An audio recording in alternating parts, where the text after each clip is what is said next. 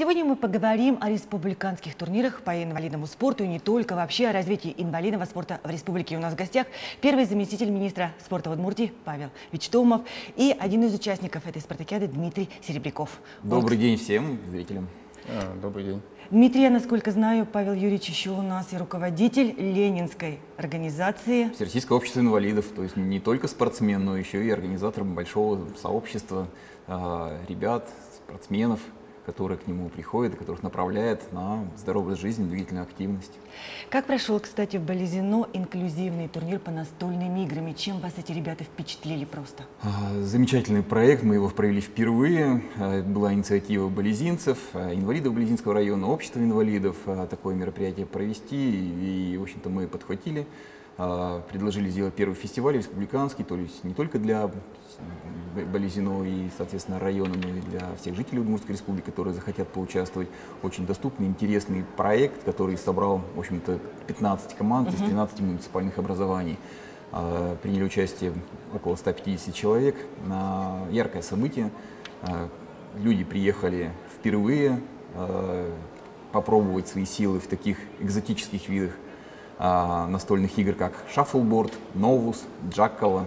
Названия интересные. Могут испугать для начала, но когда пробуют впервые по столу бросить как перлинг а, фишку для попадания в определенную цель, не получается, берет азарт, а, когда берут практически бильярдный кий, который ну, чуть поменьше только и играют в новус, загнать шашку а, в отверстие по углам а, квадрата, который как раз а, делается для практики этой игры, то, в общем, азарт берет свое, и, в общем-то, сложно потом а, даже предложить перерыв или там время на обед, потому что а, очень интересные игры, захватывающие. Сами пробовали? Конечно, играли, мы а, давно уже практиковали, мы проводим данный данное событие в режиме фестиваля инвалидного спорта, который проходит в Ижевске. Очень популярны в корпоративном режиме эти игры.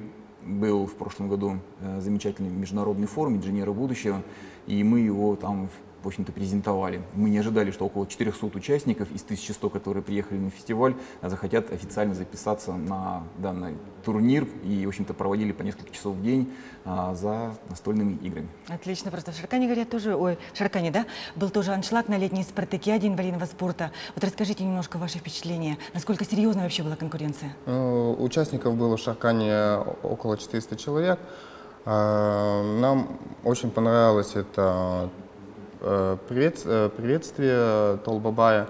А он встречал вас Каравая? Да, он встречал Каравай дружбы был, который проворвали все дружественно настроенные спортсмены. Хватило всем? Хватило всем, все были довольны. И, ну, вообще, в целом, в этом мероприятии всем понравилось. Вообще была фишка то, что лето, и Толбабай был вместе с Снегурочкой со своей. Ну, хочу дополнить еще вся республика была. 28 да. муниципальных образований изъявили желание. Мы благодарны всем главам муниципальных образований, которые нашли сообщество, команду, нашли транспорт, отправить. Ну, уникально. Наверное, 99% впервые прибыли в резиденцию Толбаба, инвалиды. Я думаю, что и зимой они просто не дадут а, спокойно работать голове или своим родным близким и захотят обязательно в зимнем режиме, в формате приехать на празднование новогодних э, приключений, обязательно в Шарканский район. Дмитрий, немножко расскажите, вы ведь стали чемпионом этой летней спартакиады.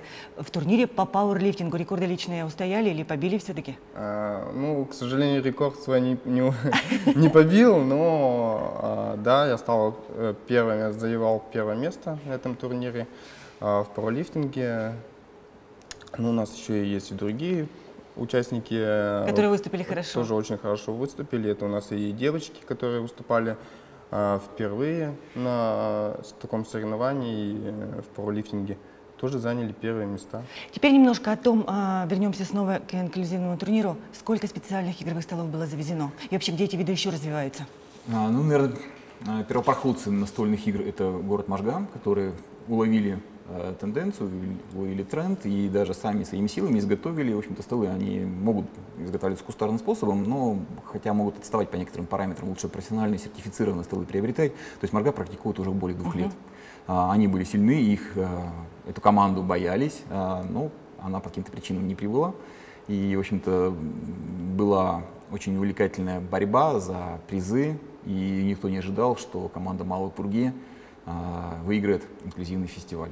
В чем уникальность этого турнира? Доступность всем, то есть прежде всего. То есть это могут играть и э, слабовидящие спортсмены, и глухие ребята, и опорники, э, жители республики с э, церебральным параличом. Причем э, играла девочка, она э, очень сложно двигается, видно, что тяжело, например, держать книгу в руках или ручку, а в игре она раскрепощается, она сама в себе и помогает, э, наверное, какой-то вот настрой побеждать. У нее просто уникальные были победы, уникальные броски а, деревянной, деревянной шайбы в определенной прорези на столе, угу. и, в общем-то, она побеждала. Какие впечатления оставили тоже вот эта спартакиада в Шаркане? Что еще запомнилось? А, при, ну, э, организация всего этого мероприятия нам очень понравилась. И вот еще раз скажу, что и Талбабай тоже, тоже нам очень понравился. А какие виды были вообще? Пауэрлифтинг, раз. Был пауэрлифтинг, а, был дартс, также боча и легкая атлетика. Настольный теннис. Насто, настольный теннис. Вы как руководитель регионального отделения, кстати, вот что, тоже какие-то турниры проводите в своем Ленинском районе? А, в Ленинском районе мы проводим а, дартс, пулевую стрельбу, также боча проводим, и плюс вот мы проводим настольно-спортивные игры. Сколько нас, собирается людей? У нас, вот по, если взять по настольным спортивным играм, у нас а, в Ижевске, в Ленинском районе открыт клуб. Угу. Мы буквально в марте месяце открыли клуб для инвалидов а, на Баранов 66. Угу. И у нас там приходят инвалиды со всех районов и играют. А, знакомятся, знакомятся, общаются. Да? Немножко теперь о том, что вот стартов на самом деле в республике очень много проводится, и проектов много. Один из них – лыжи мечты. Вот Чуть-чуть немножко. Расскажите об этом проекте. В Удмуртии уже практикуют два года данный проект на спортивном корпусе Чекирил. Это для ребятишек, в общем-то, тоже такой инклюзивный практически фестиваль, который проходил в зимнем режиме а, по горным лыжам. Обучение, а, раскрепощение двигательной активности. В этом году впервые прошел лыжи мечты а, проект «Ролики». Угу. Это тоже такое же движение, активное. Я уверен, что по всей стране наберет обороты. Ижевск один из первых и Удмуртской республикой регионов страны, в которой при, а, включилась в реализацию данного события, который инициирован а, Читой Белоголовцевых, известного артиста, угу. его супруги Натальи. И сейчас уникально проходит на спортивном комплексе Чекирилл еще и смены для обучения, для поддержки двигательного физического развития угу. и уникального, в общем-то, принципов реабилитации. Немножко о выступлении наших ребят на Всероссийской спартакиаде среди детей с поражением опорно-двигательного аппарата. Да, как они выступили. Классное событие, Раменское, конец июля, начало августа. Вообще э, к соревнованиям, по идее, не допускаются профессионалы, то есть разрядники, ага. члены сборной команд Российской Федерации. Ну, в общем, это э, такой второй эшелон, где-то, может быть, даже третий эшелон, который только начинают подключаться к спорту. Ребятишки до 18 лет, у нас э, выехала делегация, которая участвовала в бадминтоне, в настольном теннисе, в легкой атлетике. И здесь мальчишки и девчонки себя впервые вообще пробовали а, спортивной состязательности. Я уверен, что именно такими а, встрясками, особенно связано с выездом, и а, формируется такой спортивный ген, который в дальнейшем на всю жизнь позволит им оставаться в спортивном строю, быть спортсменом, может быть, даже профессионалом. У нас а, мальчишки завоевали первые места в бадминтоне, настольном теннисе. Был еще также интересный вид спорта спортивное ориентирование uh-huh. летнее. И Кирилл Перевозчиков, Миша Лавренчихин завоевали первые места. Но большие надежды, я думаю, что через несколько лет мы услышим, это Влад Лаврентьев, который, в общем-то, а, наверное, уникальный, универсальный спортсмен, которого отметил руководитель а, Паралимпийского комитета России а, Павел Рожков, сказав, что у этого парня серьезное будущее, конечно. Дмитрий, а какие виды вы еще себе, в чем, вернее, себя вы еще пробуете, кроме пауэрлифтинга? Вот на дне физкультурника я видела, что вы выступали с нашими ведущими бодибилдерами Удмуртии. Да, мы э, с Федерацией ПОДа, президентом Федерации ПОДа это президент э, Погодин Олег Юрьевич. Ага. А, э, у нас уже давно была идея сделать в Удмуртии бодибилдинг среди колясочников. Вот. И вот э, мы решили осуществить это и... Пока в, в таком формате, да? Пока в таком формате сделать Показатели презентацию, презентацию бодибилдинга, бодибилдинга среди инвалидов. Как думаете, популярная будет? Да, будет. Уже есть кто-то? У Уже нас хочет заниматься этим видом? У нас вот э, буквально в, это, в зоопарке мы с одной девочкой, вот у нас есть, она занимается тоже э, паралифтингом, ходит в тренажерный зал. Он увидел мои фотографии, как бы говорит, я говорит, хочу мисс бикини быть. Я говорю, давай, в чем же дело? Пожалуйста. Креативная идея, она нашла свое отражение. Ребята, есть кто поддерживает. Сам Дима готов показать себя. И действительно, в рамках празднования Дня физкультурника на стадионе «Динамо» было хорошее шоу. Я уверен, что это шоу будет развиваться, и вы будете, наверное, востребованы вообще по всей стране с этим шоу. Потому что креативные, сильные ребята, и ты, вы- выходя на коляске и показывая, в общем-то, свою мускулатуру, свою физическую форму, наверняка а, позываешь для тех, кто сидит дома, пока еще, может быть, где-то закрепощен а, в опорно-двигательном режиме, раскрепоститься, взять штангу в руки, гантели, позаниматься и, в общем-то, получать радость и удовольствие, счастье даже от занятий спортом. Да, конечно.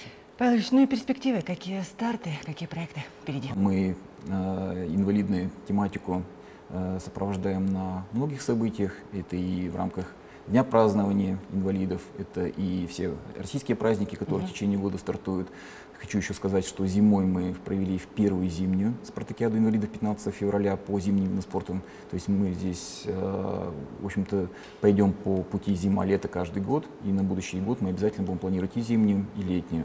А, Кроме того, Э, 14 субъектов Российской Федерации сейчас реализуют а, опробование замечательного физкультурно-спортивного комплекса ГТО, всероссийского Да. проекта, который, в общем-то, ориентирован на инвалидов а, по группам опорников, по группам ментальщиков, а, по группам слабовидящих или слепых людей и глухих или слабослышащих.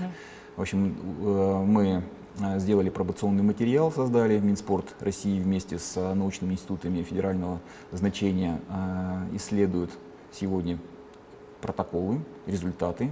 А, Возможно, будут какие-то коррективы, они обязательно будут. И я думаю, что с 2018 года, а с 2018 года, в общем-то, уже будет второй виток четырехлетней активности проекта, а, подключатся инвалиды. Ну что ж, удачи и спасибо, что пришли к нам в студию. Ну а я, уважаемые телезрители, с вами прощаюсь. До встречи ровно через неделю. Спасибо вам.